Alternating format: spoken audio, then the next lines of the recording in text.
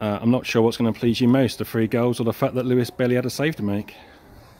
I don't think uh, Lewis did have a save to make, to be fair. So, uh, oh, I thought, listen, I thought it was a great uh, team performance today, very professional. Said to the lads at half time um, for the amount of possession that we had. I thought that we uh, we, we could have been uh, better in front of goal. Mm-hmm. Um, you know, it's always one of them ones where you go one in at one 0 um, and you, you give the other t- op- op- a team an opportunity and they, they score a goal. They uh, um, gain confidence and they're back in the game. So for me, I wanted to try and get that extra goal to kill the game, um, and we did that. And I mean, I mean to be fair, the first goal I thought was outstanding. Yeah. The, the football that we played.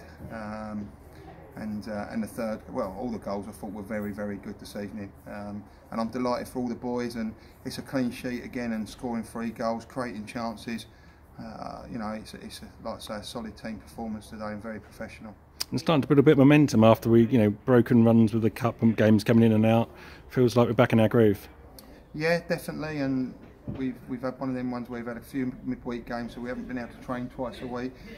Dejan hasn't been able to uh, play because of obviously cup games and Kieran as well.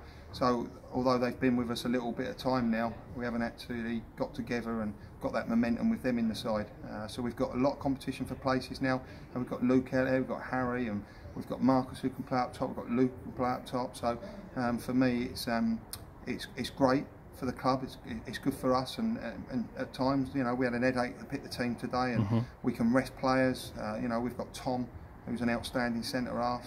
Uh, we've got Alex Mannings and we've got Lloyd. So throughout the whole squad, we've got uh, strength in depth at the moment, which is um, as a manager, which is great. Um, so and you know we, we'll be able to rest rest players now and again. And a trip to Brightlingsea um, awaits on Saturday. Or Bishop Stortford even, yeah, sorry. yeah, tough game. Um, they're flying at the moment, uh, but you know we have to concentrate on ourselves. And um, said to the boys that if we keep defending the way that we're defending, um, I think that you know uh, uh, try and keep as many clean sheets as possible.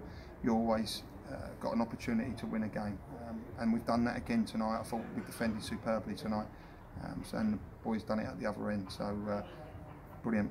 well done, Dan. Thank Thanks you. a lot. Thank you.